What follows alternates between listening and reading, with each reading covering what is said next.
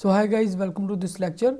In this lecture we will learn how we can fix ads.txt status not found. Okay this is a very big issue and this is a main issue you don't get if your site is ready and you still don't get AdSense approval. So this is the main thing you have to do it.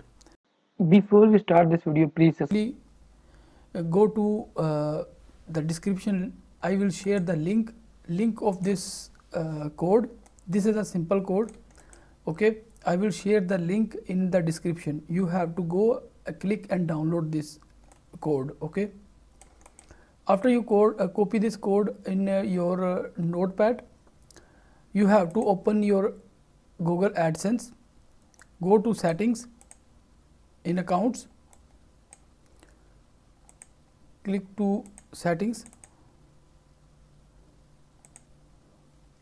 and click to account information.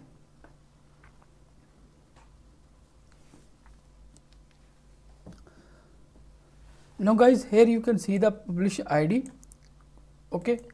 So simply click here. Pub pub id okay? Publish id you can simply copy it. Okay? As you copy go to your notepad. Now here you can see the publish id pub okay simply from here to here you can copy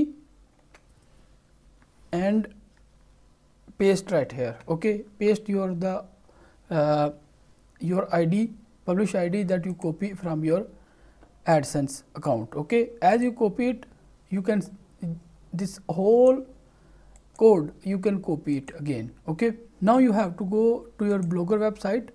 Go to blogger dashboard. First i will tell you in blogger and second I will tell you how you can do it the same thing in blogger uh, WordPress website okay? Now go to settings go down and here you will you will see the monetization option okay? The here you can see the monetization option. Click here to cust enable custom ads.txt now click here and here you can paste your code okay? As you paste you can simply click right here. Click to save. As you click to save you have to go to view your blog. Now click here and here you can add the slash ads dot txt. Now our file is added. Now go back to your blog uh, adsense account now here it takes some time at least 24 hours. Okay i just refresh.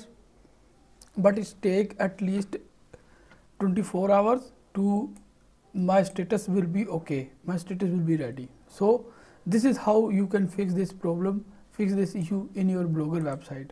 I hope guys this video will helpful for you. If you find out this video really helpful for you please make sure you can subscribe this channel. Also like this video if you have any kind of question or query you can ask me anytime. Also guys i create a complete video for wordpress websites which you can uh, solve the which i can share the tips to solve ads.txt status not found okay? So you can watch video if you have wordpress website you can watch this video. So i hope guys this video will helpful for you. Thank you for watching this video. Also please like this video